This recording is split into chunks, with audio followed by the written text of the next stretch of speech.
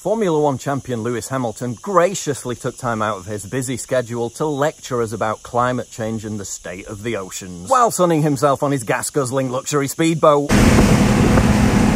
the sacrifices Lewis makes. Took the day off on Tuesday, a day for myself, and no phone, no training, just me and Roscoe on the water. I had time to reflect on where we are in the world today. Every day I see something upsetting happening, people being abused, people suffering. No phone, no cameras, just you and Roscoe on the water. Except the film crew you hired to make you look righteously pensive while you condescendingly virtue signal. Oceans and forests being destroyed. 2020 is such a heavy year, but it gives me hope seeing people come together fighting for justice and doing more for our planet and the people in it. Doing more for our planet. You're literally the face of an industry that pumps out 256,000 tons of carbon dioxide emissions every single year. And that's not even including fans transport to get to the races. You're literally the lead driver for Mercedes, a company that spews 16.4 tons of CO2 for every car it produces. Daimler AG, the parent company of Mercedes-Benz, was fined $700 million by German prosecutors last year for lying about its nitrogen oxide emissions. They literally installed secret devices that hid the true level of emissions so their cars could cheat emissions tests. And I'm sure doing more for our planet was at the forefront of Lewis's mind when he purchased each of his 15 cars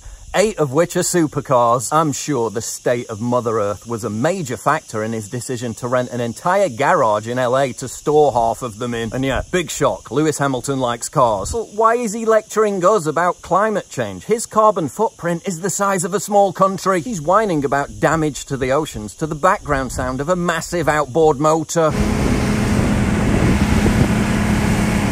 It'd be like Jocelyn Wildenstein browbeating us about the immorality of plastic surgery. Dude has less self-awareness than a dog licking its balls in public. This is a guy who cries on Instagram about how everyone needs to go vegan because the climate is decaying. As he whizzes around the globe on a 25 million pound private jet, a 3 million pound yacht, while he's sponsored by an oil and gas company. We all know the lifestyle that Lewis has, said rival driver Fernando Alonso, and that Formula One drivers take 200 planes a year. You can't then say, don't eat meat. But if there's one person in Formula One that's an even more gargantuan hypocrite than Lewis Hamilton, it's no, it's still Lewis Hamilton. You see, as a black person, Lewis understands the struggle for people of colour when it comes to sports and entertainment, both industries in which they're notoriously underrepresented. Lewis understands black oppression.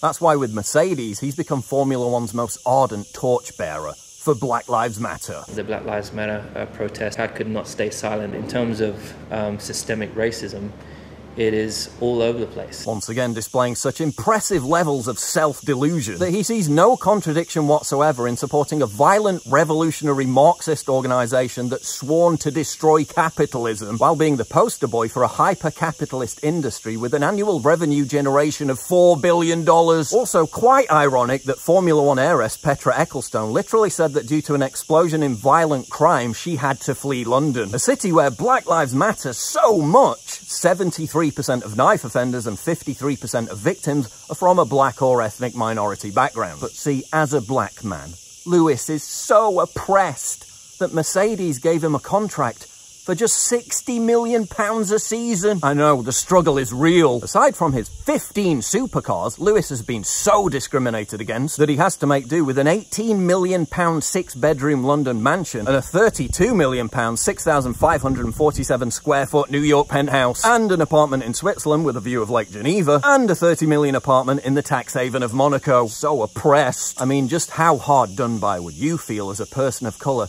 to be sitting on a net worth of only $285 million. So oppressed. If a black dude rapidly rising to the top of a cutthroat industry to become a multi-time world champion doesn't suggest that we're living in a post-racist era, I don't know what does. But I've got a theory as to why Lewis Hamilton became so insufferably woke. It all stems from a 2017 incident when he upset the thought police by telling his nephew not to wear a princess dress. I'm so sad right now. Look at my nephew.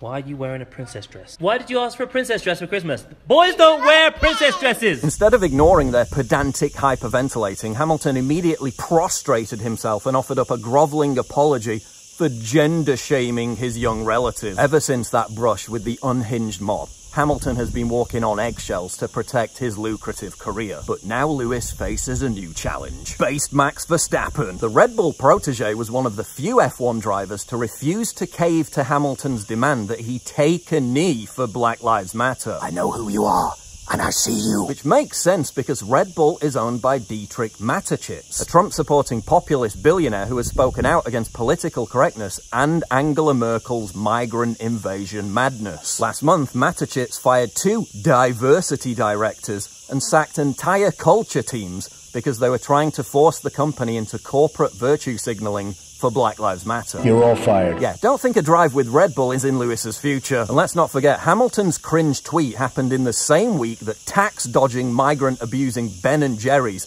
lectured us about the necessity of taking in more illegal migrants. Remember when multi-billion dollar corporations just made products and didn't guilt trip us about social justice as a pretentious marketing ploy? Remember when celebrities weren't afraid to flaunt their wealth? Remember when they understood that they'd hit life's jackpot and knew just to shut up and enjoy it. Remember when they didn't lecture you about your consumption while blitzing around the world in speedboats and supercars? Yeah, well, with people like Lewis Hamilton around, those days are long gone, and they're not coming back.